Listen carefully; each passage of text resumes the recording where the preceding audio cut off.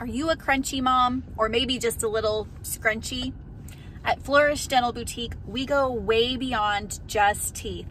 We want to partner with you for lasting healing from ozone to nutrition to safe amalgam removal.